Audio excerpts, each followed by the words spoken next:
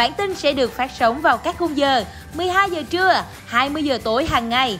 Để không bỏ lỡ những thông tin mới nhất, hot nhất, đừng quên subscribe ngay kênh YouTube MCV TV và follow fanpage Top Entertainment nha. Ca sĩ thành Thảo bức xúc khi fan chỉ trích mang con Ngô Kiến Huy để PR bản thân. Lý Nhã Kỳ lên tiếng cực gắt nói rõ lý do chưa lập gia đình, cộng đồng mạng gọi ngay tên tình cũ đầy già thế. Hoàng Thị Linh khoe ảnh xinh đẹp được ai kia chụp hình, dẫn tin đồng loạt gọi tên Gil Lê. Bị chê vô duyên vì ngồi lên đùi Eric ngay trước mặt bạn trai thiếu gia, Hoa Minzy tác hẳn chồng vào làm rõ 10-10. Lần đầu dự sự kiện cùng nhau, Carit ga lăng cầm túi ngọt ngào đút ăn cho bạn gái. Ca sĩ Thanh Thảo bức xúc khi fan chỉ trích mang con Ngô Kiến Huy để PR bản thân. Cách đây không lâu, nữ ca sĩ Thanh Thảo có một bài đăng khá dài trên trang cá nhân chia sẻ về câu chuyện bé Jackie Minh Trí tự tìm thông tin của mình trên Google và nhận được câu trả lời là Ngô Kiến Huy Sơn, tạm dịch là con trai Ngô Kiến Huy. Cậu bé 9 tuổi mang nhiều thắc mắc về cha ruột, đi hỏi Thanh Thảo và được nữ ca sĩ giải thích. Cuối cùng Jackie Minh Trí chia sẻ cậu không muốn gặp lại Ngô Kiến Huy vì sợ phải khóc. Tuy nhiên, cư dân mạng đã vào chỉ trích cô lợi dụng bé để PR. Trước bình luận mang tính chủ quan này, Thanh Thảo đã ngay lập tức phản bác. Chẳng ai nhẫn tâm đem con cái mình ra bia nhé, trẻ con bây giờ rất thông minh, nhất là đứa trẻ giỏi công nghệ như Jackie, thì việc tìm hiểu hay đọc tin là bình thường. Không ai có thể tự dựng một câu chuyện như vậy để nói. Đây là một status chia sẻ tâm sự của một người mẹ với những quan tâm và người hâm mộ. Còn ai không quan tâm, không nhất thiết đọc và để lại comment mang tính chất gán ghép như vậy.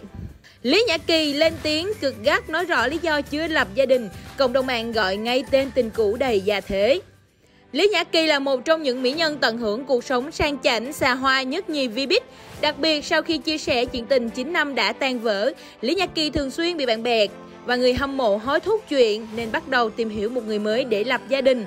Cho đến gần đây, ngay trên sóng livestream, Lý Nhã Kỳ đã thẳng thắn nói về chuyện tìm hiểu người mới.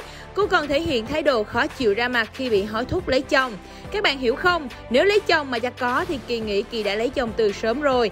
Còn lấy chồng để mình có cảm giác tâm hồn được che chở, được an toàn, có sự đồng điệu trong tâm hồn thì không hề dễ. Nữ diễn viên cũng chia sẻ cô sẵn sàng bắt đầu với một người đàn ông đang bắt đầu sự nghiệp để cả hai cùng cố gắng.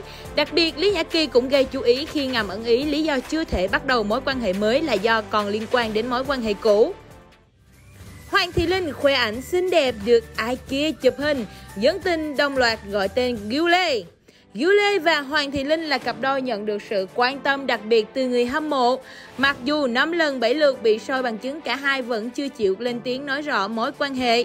Đặc biệt nhất, Hoàng Thị Linh và Gil Lê còn từng bị soi là đang sống chung cùng nhau tại một căn hộ cao cấp. Cho đến tối qua, ngày 23 tháng 9, Hoàng Thị Linh bất ngờ khoe khoảnh khắc xinh đẹp được chụp tại nhà riêng.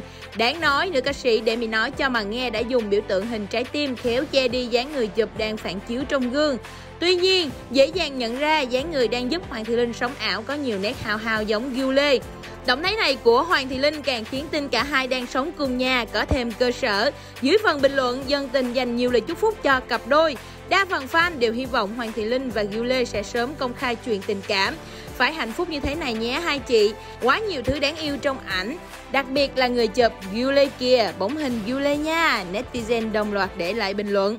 Bị chê vô duyên vì ngồi lên đùi Eric ngay trước mặt bạn trai thiếu gia, Hoa Minzy tác hẳn chồng vào làm rõ 10-10. Tối hôm 18 tháng 9, Hương Giang bất ngờ tổ chức tiệc linh đình trên du thuyền cùng Mách Liêu và hỏi bạn thân.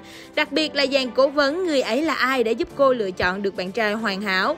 Những khoảnh khắc khóa môi ngọt ngào, hỏi bạn quyền lực ngay khi được xuất hiện trên mạng xã hội đã khiến các netizen đứng ngồi không yên.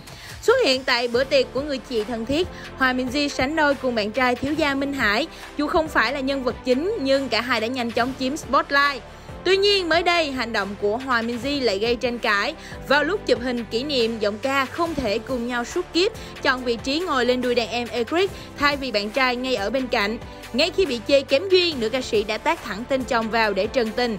Hóa ra vì lo sợ điện thoại chụp góc rộng sẽ khiến mặt mình bị bành. Hòa Minzy mới chọn chỗ sát bên Eric. Ngay khi bị netizen chê trách, cô liền khẳng định không ngồi cạnh Minh Hải là đúng đắn. Đáp trả lại, bạn trai thiếu gia của Hòa Minzy cũng khuyên cô đừng nên quan tâm, đẹp xấu gì tâm này nữa.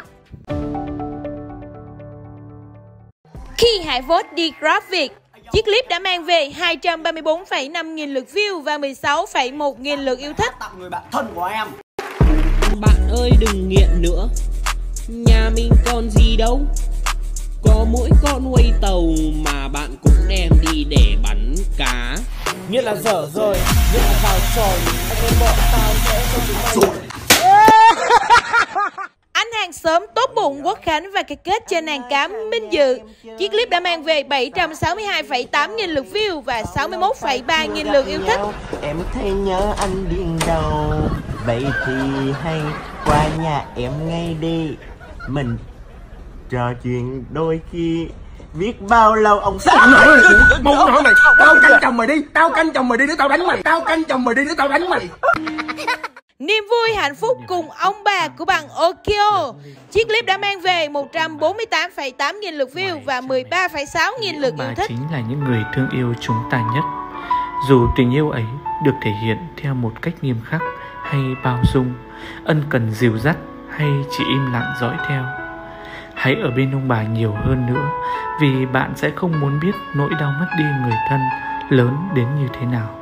Bà có thể quên đi mọi thứ, chẳng bao giờ quên đứa cháu của mình.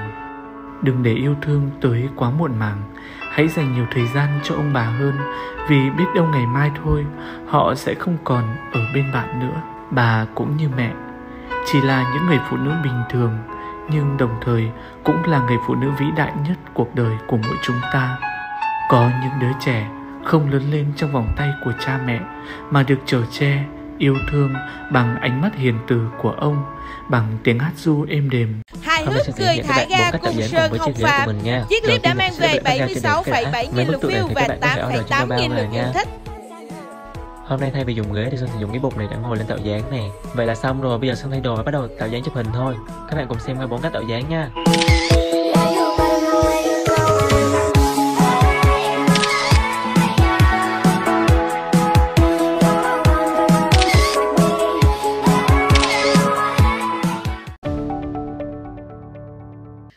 dự sự kiện cùng nhau, Carit ga lăng cầm túi ngọt ngào đút ăn cho bạn gái. Trong sự kiện diễn ra vào tối 23 tháng 9, lần đầu tiên Carit và bạn gái sánh đôi tham dự đập tan tin đồn rạn nứt, được bao vây bởi fan. Khoảnh khắc nam rapper ga lăng cầm túi sách cho người yêu đã ngay lập tức chiếm trọn spotlight và thành công khiến nhiều fan girl đổ gục. Chỉ chờ mỗi chi tiết đơn giản này thôi cũng đủ thấy Carit chiều chuộng và cưng chiều Bella đến mức nào. Trong đoạn clip fan quay được, Carit và Bella còn tình tứ quan tâm lẫn nhau. Chàng ngọt ngào đút nàng ăn bổng ngô khiến nhiều người xung quanh phải đỏ mặt ghen tị.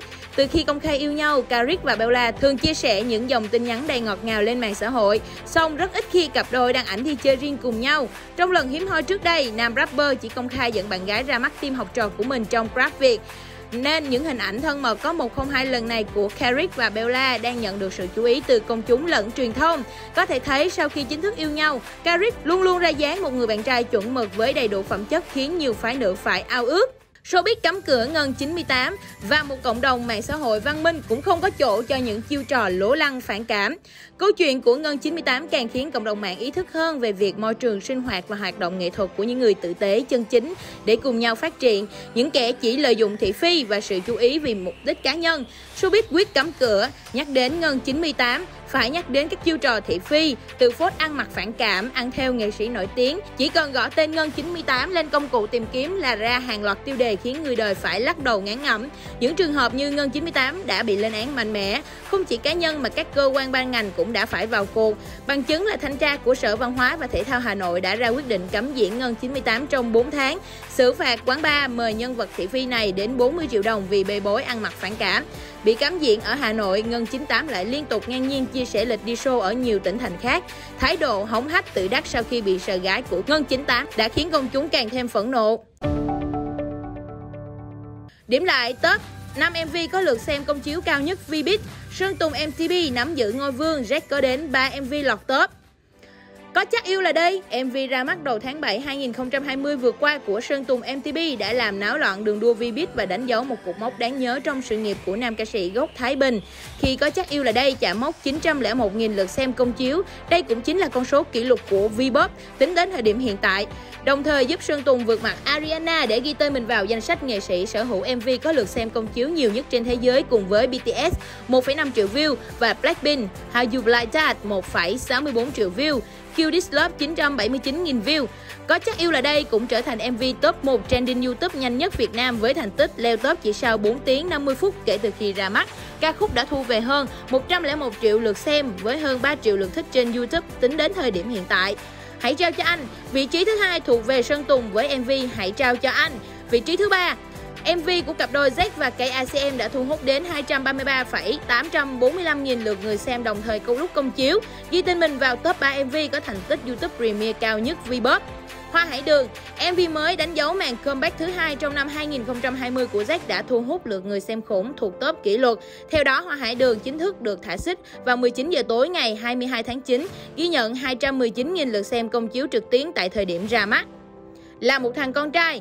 Sản phẩm đầu tiên đánh dấu màn tái xuất của Jack với vai trò nghệ sĩ solo sao lột ồn ào với công ty quản lý cũ, đã thu về thành tích ấn tượng cho ca sĩ sinh năm 1997 trên đường đua V-pop. Ra mắt vào tháng 3 2020 là một thằng con trai có đến 200.000 lượt xem khi công chiếu trực tuyến với 134 triệu view. Từ khi công chiếu đến nay đã thu về 134 triệu view. Đen Vâu ngưỡng mộ chàng trai chăn bò vì mang âm nhạc ra thế giới. Đen Vâu và Show Y Tiết đã có màn tương tác thân tình trên mạng xã hội khi giọng ca 2 triệu năm bày tỏ lòng ngưỡng mộ tinh thần lạc quan và thứ âm nhạc đặc biệt mà chàng trai chăn bò mang ra thế giới. Từ một chàng trai chăn bò có hoàn cảnh sống khó khăn, trong phút chốc Show Y Tiết đã làm chao đảo mạng xã hội trên toàn cầu bằng các clip ngẫu hứng hát vu vơ của mình. Những tên tuổi đình đám nhất làng nhạc thế giới đã hợp tác chia sẻ và cover lại đoạn hát đếm số mà Show Y Tiết đăng tải lên mạng xã hội. Trong số đó phải kể đến rapper Snoop Dogg, danh ca Chris Brown, Justin Bieber. Từ những điều không tưởng, chàng trai chăn bò người Việt đã mang sự chiêu của mình lan tỏa khắp nơi. Chính điều này đã khiến rapper đen vô phải nể phục.